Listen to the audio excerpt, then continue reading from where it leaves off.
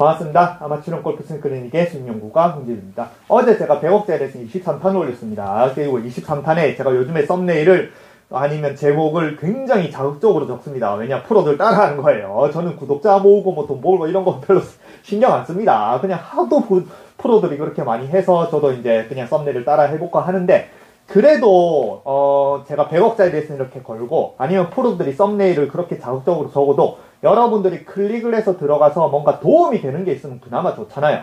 그래서 어제 100억짜리 레슨 23탄의 회전 원리 골프는 몸통 회전, 힙턴, 뭐 하체 회전 이런 회전을 엄청나게 강조하지만 정작 골프 프로들은 회전에 대해서 너무 몰라도 이렇게 모를 수 없다. 답답해 죽겠다. 그렇게 썸네일을 걸어놨습니다. 그리고 그 내용에, 어제 내용에 회전은 몸 앞을 하는 게 아닌 몸 뒤를 도는 거다. 그렇게 이제 올려놨고. 그래서 이제 자고 일어나서 한 낮쯤에 저는 원래 늦게 일어나기 때문에, 어, 이제 유튜브의 반응이 어떨까 싶어서 유튜브를 딱 켰습니다. 밥을 먹으면서. 근데, 아니나 다를까, 뭐 레슨 알고리즘이 뜨잖아요. 그래서 레슨이 하나 떴는데, 한 5시간 전에 떴다라고 딱 올라왔더라고요. 그래서 봤는데, 제목이 자기 이 영상을 보면 여러분들 레슨 천만, 레슨비 천만 원을 아낀대요. 천만 원.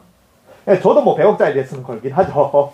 근데 만약에 그렇게 이제 들어가서 정말 천만 원이 아니라도 단돈 뭐 10만 원짜리 그런 가치라고 해도 여러분들이 그 영상을 보더라도 10만 원 정도의 그런 걸 붙인다. 그럼 얼마나 좋아요. 그래서 어그로를 끌었으면 그 영상 안에 굉장히 좋은 내용이 있으면 좋은데 아, 정말 골프 프로들은. 그래서, 저희 이제 테니스 치러 갈 거거든요. 근데, 이게 제가 골프를 하면 하고, 그리고 레슨을 보고 골프 프로를 보면 볼수록, 세상의 모든 운동 중에 가장 몸치들은 골프인 것 같아요. 골프 프로들인 것 같아요. 왜냐면, 생각해 보세요. 골프 프로들한테 제가 만약에 춤을 가르친다. 아니면 어떤 동작을 가르친다. 그러면 골프를 제외한 동작을 가르치면은 어, 뭐, 테니스 선수, 아니면 배드민턴 선수, 아이스 하키, 스키 선수, 이런 선수들이 동작을 잘할 것 같아요. 골프 프로들이 춤을 잘 추고 뭐 동작을 잘할 것 같아요. 세상에서 아마 제일 못하는 동작을 다른 동작을 시켰을 때 제일 못하는 동 프로들이 골프 프로들입니다. 여러분들 골프 프로들이 다른 운동하는 거 보세요. 그러면 정말 이렇게 몸치일 수가 없습니다. 그래서 왜냐면 다른 운동은 여러분들이 어릴 때 태권도 해오신 많죠? 그러면 태권도의 경지에 오르면 그냥 정말 발차기만 딱 한 번만 해도 뭔가 어마어마한 포스에 어마어마한 운동력하게 그런 것들이 다 실리잖아요. 달인들은. 근데 그 달인들이 그 동작을 하나 하려고 그 동작 하나만 평생을 막 30년 동안 뭐 아니면 가라데 정권 찌르기 요것만 했나요? 아닙니다. 태권도는 품새라는 게 있죠. 여러 가지 다양한 동작 막 뒤돌려 차기 하면서 어마어마한 많은 동작을 평생을 그 동작을 다양하게 하다가 보면은 그게 함축이 되면서 결국에는 그 한 동작에도 어마어마한 운동력학이라든가 뭔가 기라든가 포스라는 게 실리는 거거든요. 그래서 저도 춤도 그렇고 뭐 테니스도 여러 가지 얼마나 다양한 동작을 많이 해요. 탁구를 쳐도 그렇고. 그래서 그런 여러 가지 동작을 많이 하면서 몸에 저절로 운동력학이 심어지면서 함축이 되면서 그런 한 가지 동작을 해도 이런 것들이 뭔가 제대로 된 운동력학이 나오고 그래서 저도 골프만 하다가 춤은 이제 오래 했고 골프만 하다가 아 테니스를 배우거나 아니면 서핑을 해도 골프에 도움됩니다. 팔을 이렇게 저으면서 등을 이렇게 저어야 되거든요. 그래서 아 골프 하나만 파는 것보다 다른 여러 가지 운동을 하는 게 훨씬 더 이 골프 자체에 도움이 되구나 내 몸에 대해서 더 이해를 하는구나 그렇게 해서 이제 요즘엔 정말 다, 다양한 운동을 많이 하려고 합니다. 복싱을 했었고, 뭐 수영도 했었고, 테니스도 하고, 서핑도 하고, 뭐전 춤도 췄었고, 골프도 하고, 뭐 헬스도 항상 꾸준히 하고 있고. 그래서 골프 프로들이 왜 멈추냐면, 골프 프로들은 평생을 정말 요거밖에 안 하잖아요. 요거밖에. 그러니까 생각해 보세요. 여러 가지 방금 말했지만 다양한 운동을 하면서 그게 함축이 되면은 그 한 가지 동작 내에도 100가지, 1000가지의 어마어마한 동작이 다 함축이 되는데, 만약에 가라데를, 뭐, 태권도를 배운 사람이 발차기 하나만 30년을 했다, 이렇게. 그러면 과연 그 30년을 한다고 그 발차기가 완벽해질까요? 가라데 하는 사람이 정권 찌르기, 철권 따라한다고 정권 찌르기 요것만 평생을 했다. 복싱하는 사람들이, 뭐, 아니면 뭐, 복싱하는 사람들이 잼만 30년을 했다. 그러면 그 30년을 했다고 그한 동작이 완벽해질까요? 그래서 골프 프로들은 이 동작만 평생 하기 때문에 자신들은 프로가 됐고 자신들은 어, 골프 스윙이 완벽하고 모든 사람의 모든 원리를 다 이해하고 그렇게 된다라고 생각하지만 오히려 그게 더 폐쇄적으로 되는 거예요. 여러 가지 다양한 동작을 하는 게 아닌 요거밖에 안 하기 때문에. 그래서 골프 프로들, 다른 운동 선수들은 뭐 테레비 연예인 요런 이제 운동 선수들 요즘에 많이 나오잖아요. 그런 운동 선수들 나오면 다른 운동 선수들 보면은 굉장히 다른 운동을 잘합니다. 윤성비 선수가 다른 운동 하는 거 굉장히 적응력이 빠르잖아요. 근데 골프 프로만 전부 다 몸치예요. 생각해 보세요. 뭐 우리나라 전설 박세리 프로님도 요즘에 나오잖아요. 박세리 프로님한테 춤을 가르치면 춤을 잘 출까요? 아니면 다른 동작 막 태권도를 해보라면 태권도를 잘할까요? 아 못합니다. 평생을 제자리에서 요거밖에 안 했기 때문에. 그래서 운동역학이 골프에서 쓰는 운동역학은 자기들은 알겠지만 다른 여러 가지 운동역학을 몰라요. 그래서 썰이 길어졌는데 어, 아까 천만 원짜리 레슨에 뭘 하냐면 뭐 또 골프는 스쿼트 스쿼트 요렇게 이제 스쿼트에 대해서 하더라고요. 근데 이 스쿼트 자체도 정말 그 영상을 보면서 와, 정말 스쿼트를 한번 해봤나? 아 스쿼트에 대해서 정말 진짜 스쿼트란 자세에 대해서 차, 정말 레슨을 하기 위해서 차라리 유튜브에 헬스 그런 스쿼트 동작이라도 한번 연구해봤나 그런 생각이 들 정도로 스쿼트 이 골프 프로들 전부 다, 다 스쿼트를 강조하는데 이 스쿼트 동작 하나 자체에 대한 운동 원리도 모르더라고요. 그렇다고 제가 스쿼트를 많이 한 것도 아니고 저는 스쿼트 엄청 싫어해요. 왜냐면 하체 운동 엄청 싫어합니다. 하체가 피곤해서. 근데 저는 발목 운동을 굉장히 좋아해요. 근데 하체 운동은 정말 싫어합니다. 피곤해서. 그래도 저는 하체 운동 스쿼트를 평생 해보지 않지만 여러분들 중에 헬스 하는 사람도 있겠죠. 그리고 하면은 자 스쿼트입니다. 그 천만 원이 붙는다는 스쿼트 레슨에 뭘 하냐면 이렇게 정말 스쿼트를 해볼게요. 이렇게 하죠. 그러면은 모든 사람들은 전부 다 어떤 동작을 해보라고 하면 그냥 자기 상식대로 해요. 그리고 쉬운 방법으로 합니다. 이렇게 스쿼트를 이렇게 했다가 이렇게 그냥 이렇게 일어난다라고 생각을 하겠죠. 왜냐? 이렇게 무거 무게를 두고 이렇게 내려가면 무거우니까 이걸 빨리 일어나려고 하겠죠.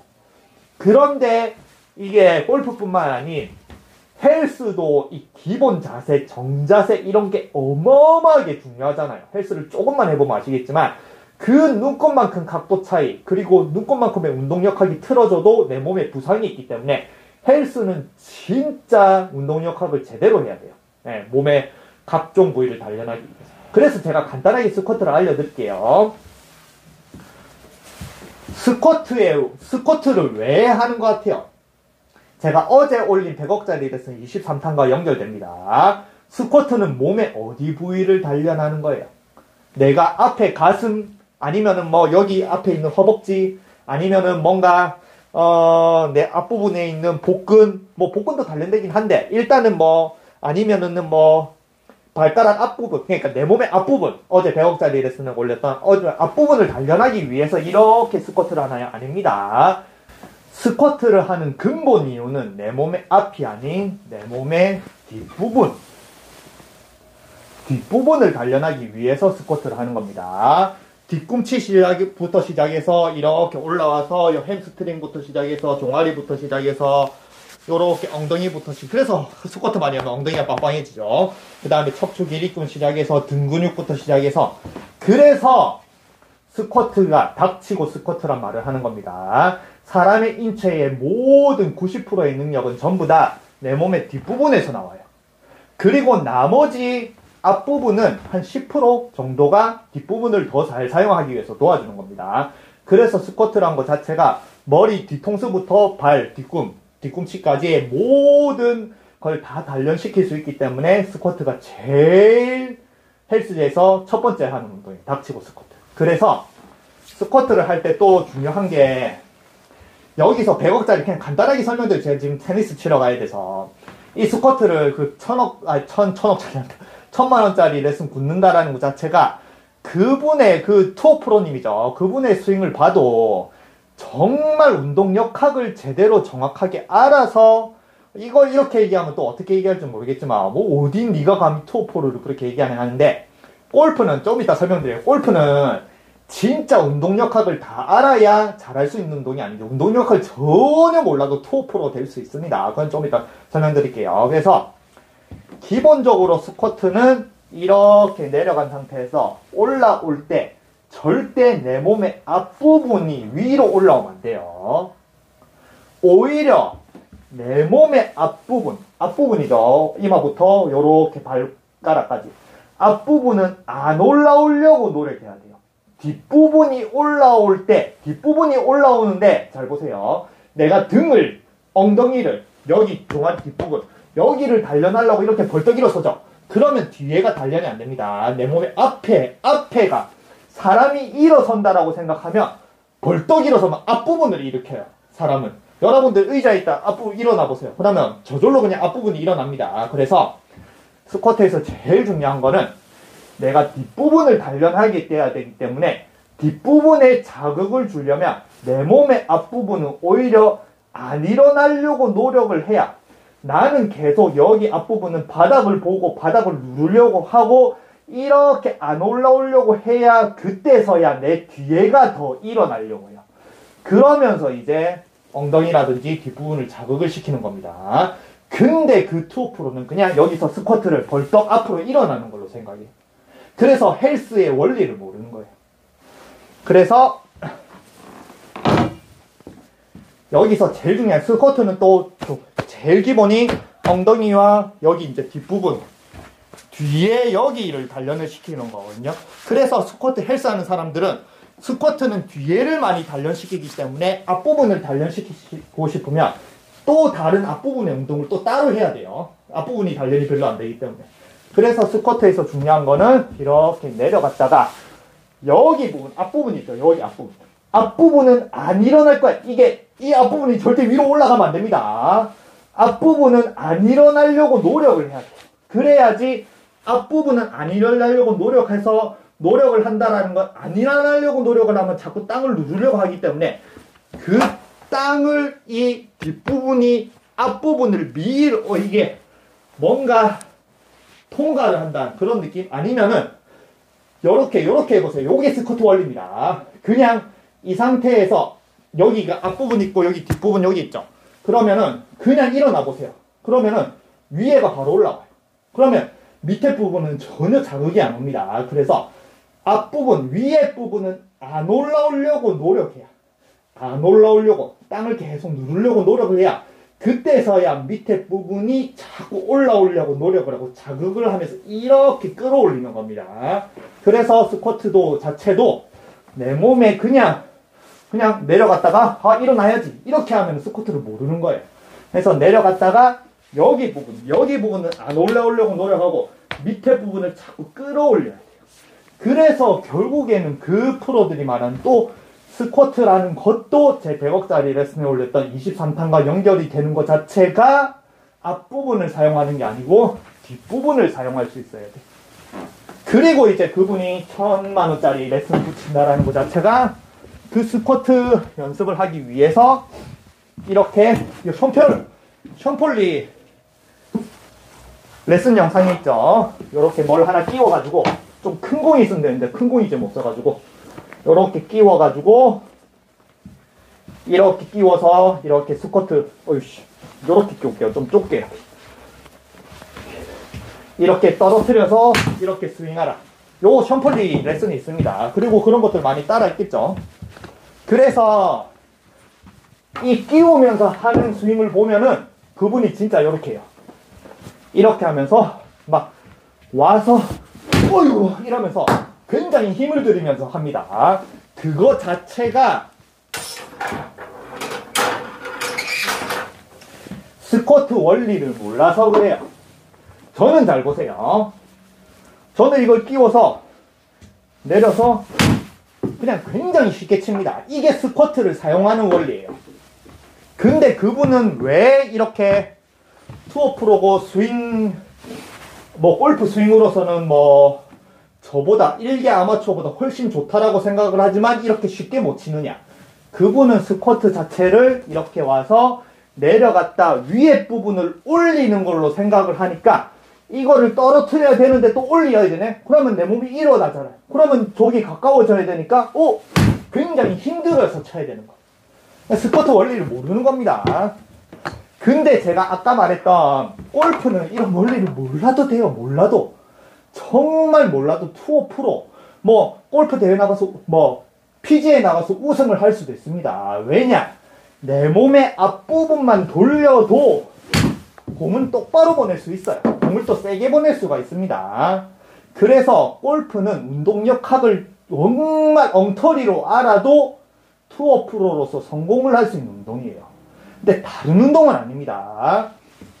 제자리에 정지되어 있는 걸 이걸로 갖다만 톡 때려도 정말 멀리 나가는 골프공의 반발력 그리고 아이언의 생명세 이런 게 아닌 다른 운동이라고 생각해 보세요. 탁구, 뭐 배드민턴, 테니스, 뭐 수영, 뭐 아까 말한 태권도 그런 여러 가지를 움직이면서 또 여러 가지 날라오는 공을 치고 내 몸을 움직이는 그런 운동이 뭔가 일반 아마추어가 아닌 정말 프로로서 성공을 하려면 그 사람들이 운동역학을 거꾸로 한다. 그러면 그 사람들이 성공을 할 수 있을까요? 못합니다. 그래서 세상에서 유일하게 운동역학을 제대로 모르고 거꾸로 알아도 성공할 수 있는 운동이 골프입니다. 스쿼트도 반대로 아는데도 스쿼트를 이렇게 써서도 투어포러가 됐습니까? 하니까 참 골프는 근데 자기들은 운동역학을 모른다라고 생각할까요? 자기들이 거꾸로 한다고 생각할까요? 전혀 자기들은 모든 운동을 전부 다, 다 완벽하게 다 한다라고 생각합니다. 그래서 제가 방금 보여드렸던 쉽게 칠 수 있는 이유가 이렇게 내려갔으니까 어, 내려갔으니까 당연히 스쿼트는 올라야 되니까 올라와야지라고 생각하는데 또 떨어뜨려야 되네. 샴플리가 떨어뜨리거든요. 그러면 떨어뜨리는데 올라와야지 오이 쳐야 되네. 이게 헬스장 가서 스쿼트를 모르는 사람이 했을 때 옆에 이제 헬스 관장님이 아니면 PT 하는 사람들이 여러 가지 고쳐주죠. 그래서 고쳐서 스쿼트를 제대로 하면은 이렇게 오죠. 그러면 떨어뜨릴 때 잘 보세요. 떨어뜨릴 때 여기가 일어나면서 떨어뜨리는 게 아닌 뭐라고 했어요? 위에는 안 일어나려고 노력을 해야 된단 말이에요. 그리고 밑에가 일어나려고. 그러면은 위에가 위에가 안 일어나려고 노력을 딱 하는 순간 이게 떨어져요. 그러면은 위에는 안 일어나려고 이 높이를 유지한단 말이에요.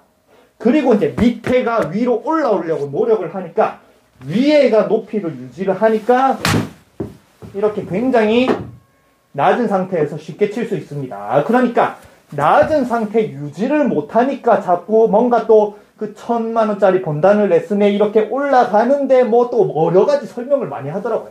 그런 설명이 전부 다 잘못된 처음 처음부터 이 스쿼트 원리를 모르는 사람이 설명을 잘못된 설명을 여러 개를 연속으로 더 하는 겁니다. 그래서 스쿼트는 절대 스쿼트나 운동 자체가 내가 앉았다가 일어나는 게 아니에요. 앉았다가 사람의 모든 움직임은 기본적으로 운동 역학을 모르는 사람들은 뒷부분이 아닌 앞부분을 쓰기 때문에 스쿼트를 할 때 제일 중요한 거는 나는 안 일어날 거야 라는 마음이 제일 중요해요. 그러면 안 일어난다라고 생각하면 앞부분을 안 일어나기 때문에 그때부터 나는 저절로 뒤에를 일으키려고 해요. 근데 뒤에를 일으킨다고 또 뒤에가 금방 일어나면 안 됩니다. 뒤에를 일으키는데 앞부분은 자꾸 안 일어나려고 이 저항이 있어야 돼요.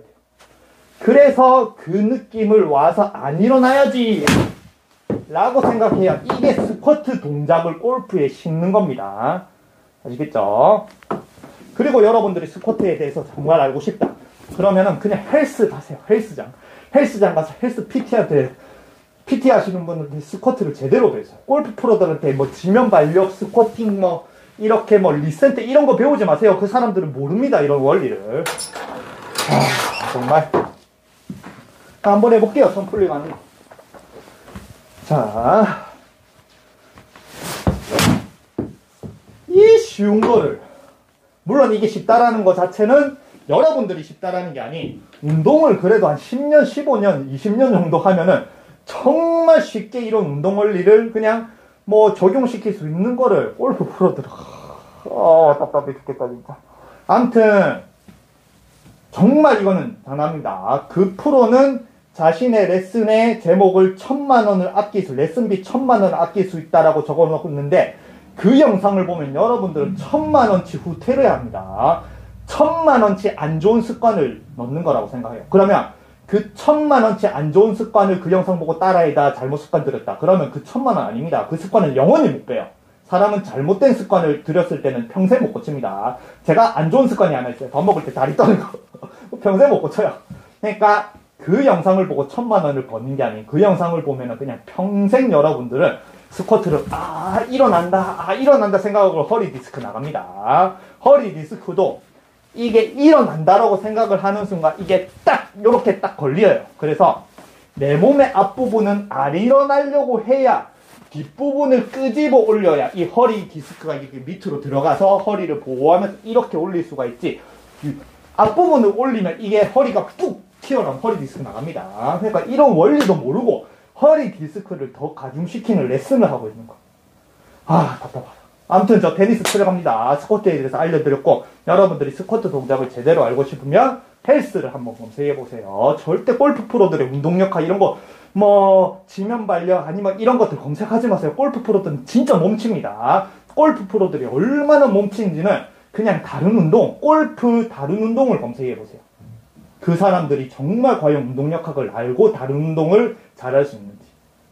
그래서 저는 이제 테니스를 가서 치러 가니까 스쿼트를 제대로 해서 뭔가 이렇게 지면 발력을 제대로 이용할 수 있는 스윙을 할 수 있었으면 좋겠습니다.